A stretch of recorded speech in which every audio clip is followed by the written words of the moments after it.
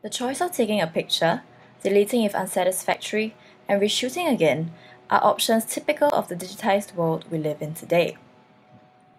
The Singapore International Photography Festival, now already into its third year, plans to bring to remembrance the obsolete yet fundamental photography processes of taking a photo and developing it.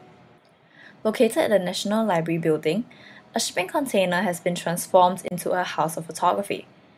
It is a fully operational darkroom and education center that allows the public to learn about photography and develop actual photographic prints. Hub is about bringing the best encounter with photography in everyday's life, and it's really about presenting uh, photography in the very most fundamental and inspiring ways to people. One of the workshops held in the House of Photography is Panorama. Participants are taught how to make a pinhole camera using recyclable items such as Milo tins and shoe boxes.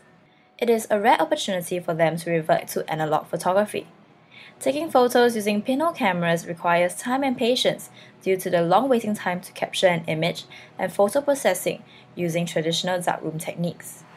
I think the event is very fun because they are very resourceful, like using um, cans and boxes to make into cameras and you can actually see the pictures forming out, so it's really very amazing.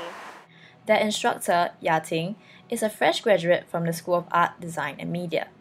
She volunteered to host a workshop because of her passion for photography and also to impart her skills and knowledge to other photo enthusiasts. Doing experimental photography is very risky business. Unless you're very lucky, you never get it right the first time round. It is the uncertainty of not knowing how your image would eventually turn out that drives me. In a bid to continue nurturing public appreciation for the arts, the House of Photography will be made available to the public even after the festival, which ends on the 17th of November. It will travel to various community clubs, schools, and libraries thereafter.